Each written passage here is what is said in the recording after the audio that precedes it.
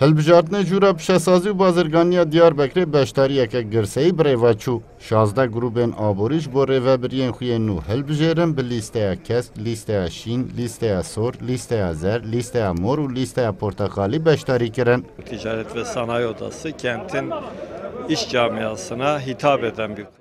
Rêxistina Karsazên Bajêr ku bîst û yek hezar endamên wê hene bi vê hilbijartinê rêveberiya xwe hildibijêrin. Hilbijartin jî bi beşdariyeke baş derbas bû. Ji bo hilbijartina rêveberiya xwe beşdariya wiha girseyî ku karsaz tên û dengên xwe didin, destnîşana demokrasiyê ye û cihê kêfxweşiyê ye.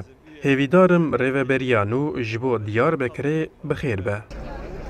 Namzetê Lîsteya Şîn yê Serokatiya Rêveberiya DTSO'yê Mûsa Karagöz jî da zanîn ku ew ji bo guhartinê bûne namzet û xwestine ku bi projeyên xwe saziya karsazan bi pêş bixin. Ji berî her tiştî Amedê û Diyarbekir yanî ji bo wan kişan bi xêr be, Xwedê Teala wêya bike.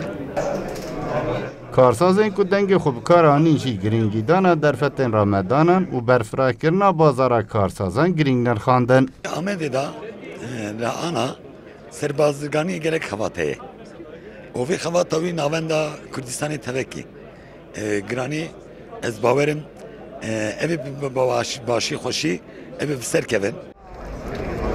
Piştî ku hilbijartin bi dawî bû, Serokê Jûra Pişesazî û Bazirganiya Diyarbekirê Mehmet Kaya destxweşî li karsazan kir û anî ziman ku ew ê xebatên xwe ji bo pêşxistina aborî, çand û civaka herêmê berdewam bikin.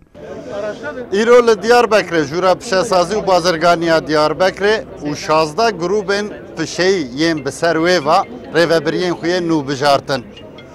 Lîsteya kes ku pêşengiya Serokê Berê yê Jûra Pişesazî û Bazirganî ya Diyarbekirê Mehmet Kaya ve kete hilbijartinê, ji wan şazdeh grûban şazdeh ji wan jî rêvebiriyê wan bi dest ve anî û careka din bû Serokê Jûra Pişesazî û Bazirganî ya Diyarbekirê.